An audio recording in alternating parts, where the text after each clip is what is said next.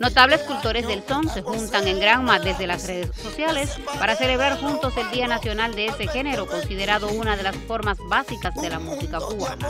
A través de Videos Crisol llegan al público propuestas diversas, rectoradas por la Dirección Provincial de Cultura y con el protagonismo de importantes soneros, así como directivos de Legren y la empresa comercializadora de la música y los espectáculos, Sindogaray. El son es una forma de ser. El son no es solamente un género musical es una forma de ser cubano.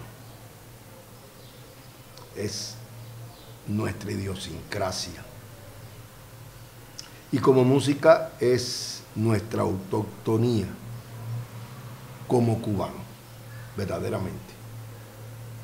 Y entonces es importante que tenga su día, aunque todos los días sean del sol, pero vamos a enmarcarlo en una fecha para celebrarlo. Ha sido una gran idea del maestro, el hermano Alberto Álvarez.